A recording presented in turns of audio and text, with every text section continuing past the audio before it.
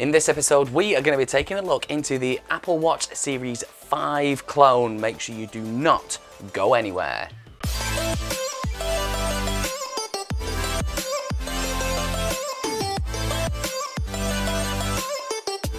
Hello to you and welcome to MMB Tech TV, helping you find affordable products faster. Now, if you haven't been here before, all you need to do, as always, is make sure you hit subscribe and hit the bell so you do not miss anything. So in this episode today, we are going to be jumping in and taking a look into an Apple Watch Series 5 clone. Now you may have seen in one of our episodes we had a look at a Series 4 which is the IWO10 uh, whereas today we're going to be taking a look into this which is the IWO11. So I've had it for about a week and a half.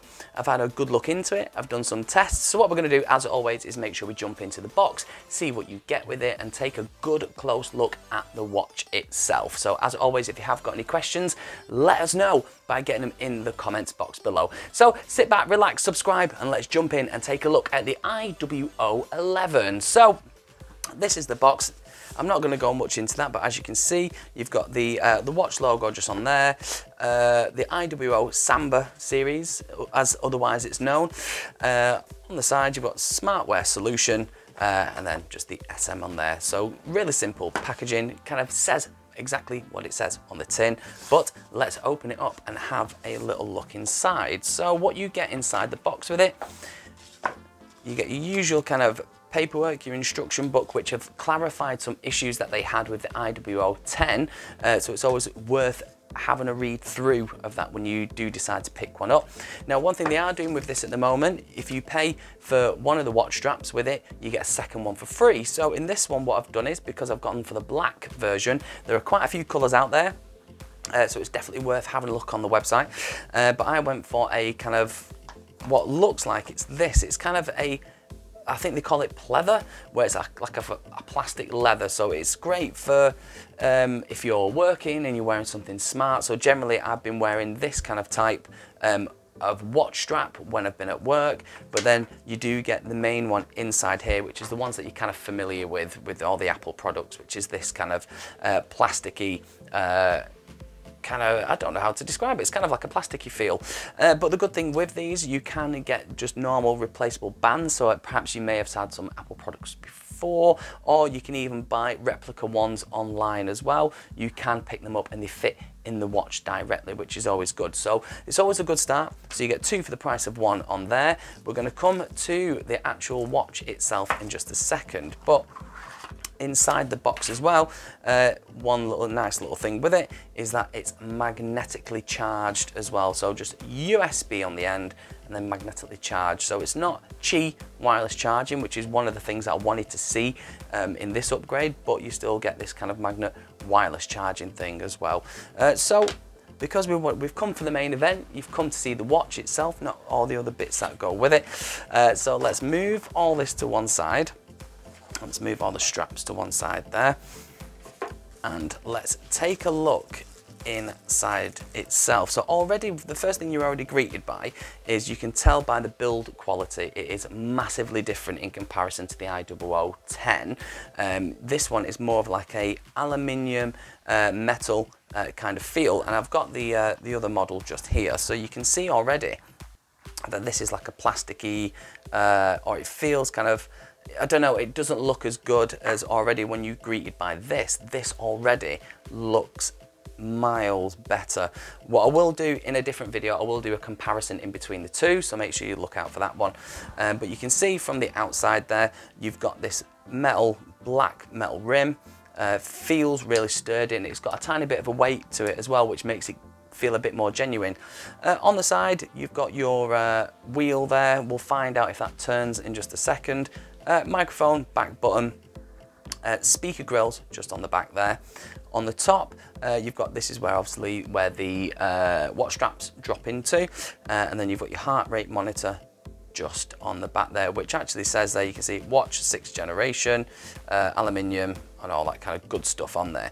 Um, but the watch straps are really easy to fit as well, and just like the Apple ones, you've got the little pinch point just at the back. So all you would do is simply pop it in, they slide and click into place. and they're in. And that is literally how simple it is, which makes changing your watch strap really easy as well. So if you wanted to go from having this kind of from your kind of day and night mode, if you will, and then if you wanted to change it then to something a bit more comfortable, if you're going training or you're going in the gym, that kind of stuff, then you can always use uh, them ones there. But it is really simple and really sturdy as well. So let's powering it on. You press this side button just there. So there we go, it powers on. You can see it's got smartwatch, the typical kind of uh, graphic that you would normally see and straight into the watch face there. Now on the watch, uh, on the actual watch itself, you do get a small handful of really good watch faces. Um, let's, all you do is long press, you're greeted by that, then all you would do is swipe to the side. So this is the one that I had on the IWO10. Uh, let's go across. So you've got your big white one there, You've got your normal one there as well. You've got some other different ones which all have little different features on. Minnie Mouse makes uh, an appearance. You've got this one which is again is a very typical uh, kind of Apple one. But I've generally go for this one and the main reason for it is is because on this one I would have thought that the bezels would have been stretched out just a little bit more uh, than the previous model but you can still see I don't know if you can pick it up on the camera there um, but you can still see how there's still a bit of a chin at the bottom there, which it does annoy me a little bit, but not too much. That's why I generally use these kind of backgrounds where it's not as obvious and it just kind of blends in and as not as you kind of would normally expect. So to get into the main menu, you would swipe, and then you're greeted by the kind of very familiar Apple kind of uh, the way the kind of their watches. Now the good thing about this IWO 11 in comparison to the old one, it is way more responsive. It is faster, there's no lag, it literally doesn't jump around. It is really quick, very simple and really slick as well. So, uh, but let's jump into seeing some of the features that you do get that are on board here because I know there have been uh, you guys when we did originally when we got all the information through we had loads of questions as you can see just there um, there were loads of questions, so I will try and get through them in the review today. So uh, let's go through what you get on board the watch itself. So on board the watch, let's go to the top. So it does connect via Bluetooth only. It doesn't have a uh, SIM card, so it can't, you know, um, operate as a standalone unit. So you would normally press that button just there and that would have some of your um, notifications in there if you didn't know where they were already. You've got your Bluetooth menu just there. Coming on to the little heart logo. Now, some people have been asking about the BPM measure. Does it measure well? Yes, is the is the answer. It actually does. It actually really, really does. I've done this with a test with this on its own and with a uh, heart rate monitor as well, um, and they both come out um, maybe one or two digits out, but it's for a watch that just literally sits on your wrist, and for the price that you're paying, it does that job and it does it really, really well, which is not too bad. So literally to do it, you would literally hold on, it's measuring, and you can pop it on your wrist. And there we go. So currently my blood pressure is 88 beats per minute, which is not too bad. I'm all right, I'm happy with that. Uh, coming over here, you can measure your blood, uh, your blood oxygen uh, levels on there, um, which is great if you're if you're kind of into fitness, which predominantly this is fitness heavy, um, so some people are quite interested in that. Uh, coming over this way, uh, you can read your text messages when it's linked to your device, so you can go in and read them and reply from them directly from here. And it just uses the Bluetooth uh, to send that message, which is good. Um, coming over here, you can uh, read your, you know, go through your contacts, so, and you can call them directly from here as well. So you can, that, you can do calls and receive calls from here. Um, and of course it's got the speakers just on the side and the microphone as well. So you can use this as a device without even getting your phone out of your pocket. Uh, you can go through your call list, seeing if you had anybody on your call logs there. Now you do get a Facebook option and that's only to receive your Facebook notifications. You can't go through your feed or you um, you know, you can't go into depth on Facebook. You only just get um, Sally has left a message or someone has commented. You can only get the basics on there really. Jumping over, you have your WhatsApp there. WhatsApp is the same principle. It'll advise you that you've got a WhatsApp message. You'll get the first line uh, that's on there, but then to read it properly, um, you would need to get your device out um, to have a look. But it's always good to have because if you're just having a quick look, you know, if it's from someone not particularly important, you don't want to get your phone out, you can just quick look and ignore it or if it's something that you want to reply back to, then you can pull your phone out and have a good look. But some of the main events on here are the sports modes. It does track your steps uh, and it has a whole host um, of sport options. So if you're quite sport heavy and looking for a decent watch that can do that, then this is probably quite good for you because it does track all your fitness. Uh, so you've got your step count there and it's got your step log so you can see uh, on the on the 9th, uh, I did 5,000 steps, um, but that's my fault because I didn't put my watch on until later on in the day.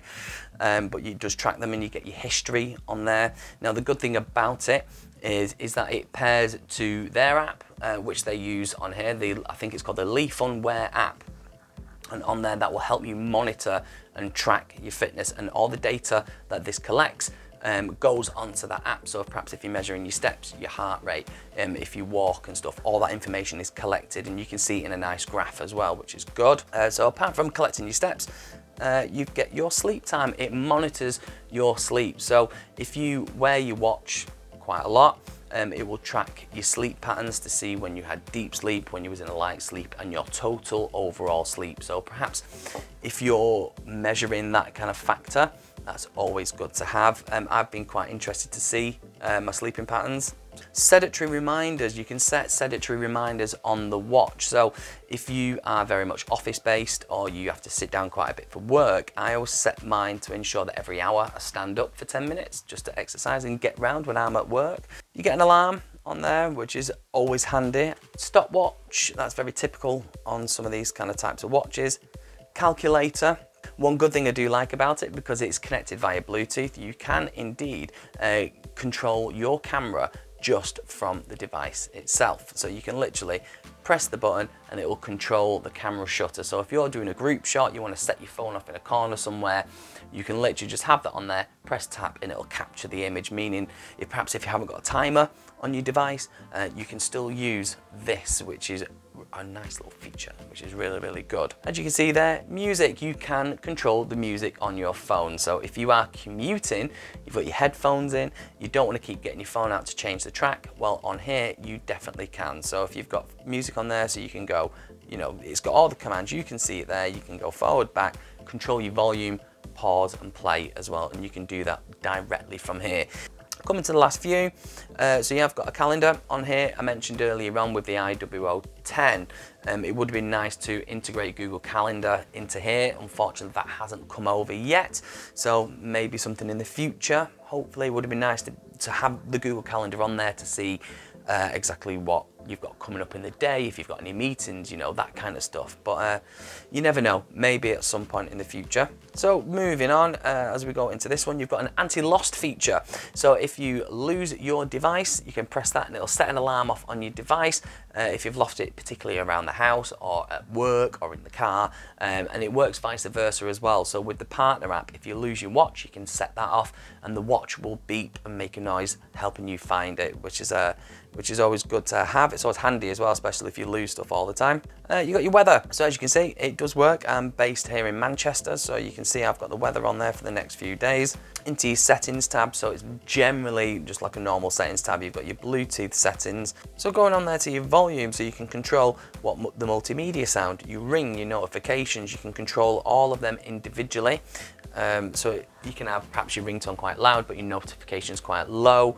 Um, motion. So you get two options here. You can either have flip to mute uh, incoming calls, so you literally twist your wrist and it would mute the call and you have a wake up gesture as well. So, uh, so you got menu change. So instead of having that menu that you saw with all the icons on, you can change it to menu two. So if you're a bit more familiar with your, you know, if you prefer to have your, you know, your main screen like that, you can change it to that. Now me personally, uh, I always prefer that one, but that's just that's just my preference. Uh, international, so you can change your language. There is a abundance of uh, languages on there, uh, something to suit everybody from every kind of country. And then lastly at the bottom, we've got these two final options just there. You've got this one here, which is the QR code that's required. Um, if you want to scan the QR code, and it'll take you to the Lefun Wear app, which is available on both iOS and Android. Uh, so it's definitely worth having a look there. And your last one is your sports mode. Now there is a few sports modes on there. So you can either have walking, running, cycling or climbing. So if you're any of these kind of particular options, say predominantly a lot of us are runners. Um, so I did a walk today. Oh, there we go. So you literally, to get going, hit play. You can see there that the GPS button is flashing that it does have GPS and it does track uh, your location. The GPS is built into this. Now, from my personal experience, once you, I would say, once you get outside and you do tend, I've struggled to get a bit of a GPS signal. It does pick up after, say, say if I've been outside for two minutes, um, then it will kind of pick it up. But as always, I go back to saying you have to remember it's just a watch. So give it a bit of a benefit of the doubt. The, the GPS is there, it does track it. So even in the Lefun Wear app, you can track some of your routes that you've been on, or it may work in partnership uh, with some of the particular apps that you, that you use for your fitness and you can track your routes and stuff. So then if you tap the little buttons there as well, it'll tell you exactly um, what you did. So we went walking there. So today I went walking for nine minutes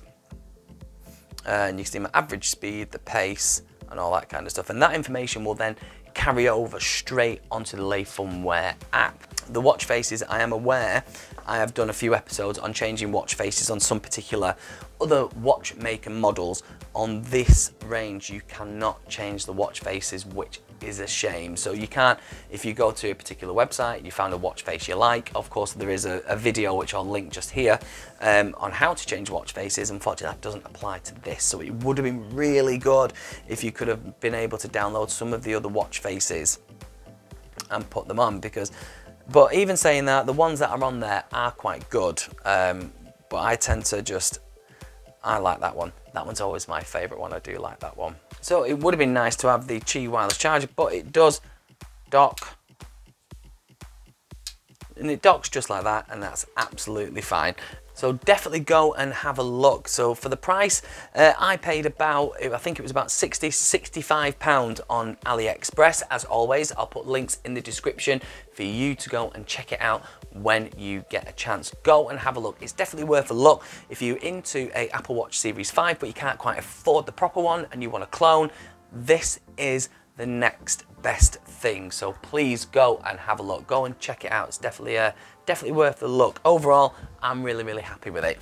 But of course, here at MMB Tech TV, we do have merchandise. We've just started doing it. Uh, so there's some great t-shirts, some great hoodies available on there. And of course, every time you purchase them, it comes back into the channel to make sure that we can give back to you. So I will leave that link in the description as well. So go and have a look. There's some brilliant t-shirts on there. Go and have a look.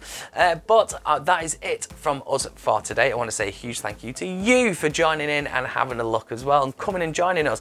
Uh, if you have got any questions about the IWO 11 Pro, go and leave them comments in the box below. As always, we always love to hear from you. So go and get involved, go and have a chat.